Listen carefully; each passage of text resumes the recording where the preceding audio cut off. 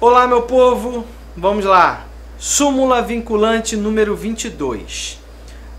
Palavras-chave: Justiça do Trabalho. Ó, é, minha língua embolou, né?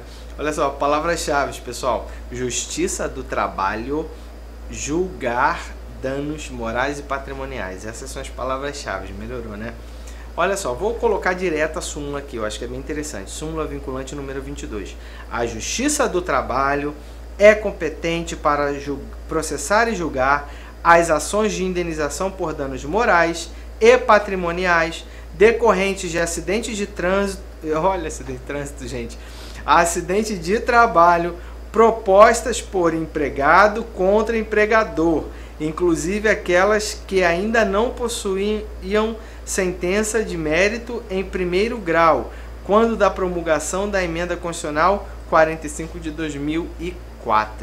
Essa é a súmula aí com as minhas línguas presas, né? É, foi foi esse o, o, enunciado da súmula. Gente, eu acho que ela tá bem clara, né? Não há nem, nem o que a gente fala aqui. O que ele está falando é o seguinte, olha, Justiça do Trabalho julga assim, processos de indenização por danos morais e, e materiais relacionados ao vínculo de emprego. Está relacionado ao vínculo de emprego?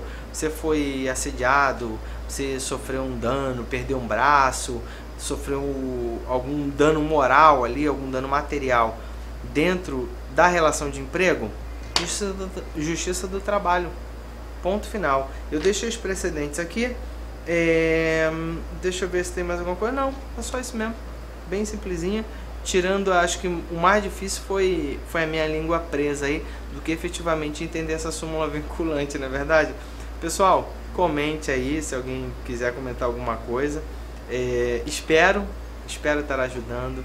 É, curta, compartilhe e continue com a gente aí nessa caminhada aí das nossas súmulas vinculantes.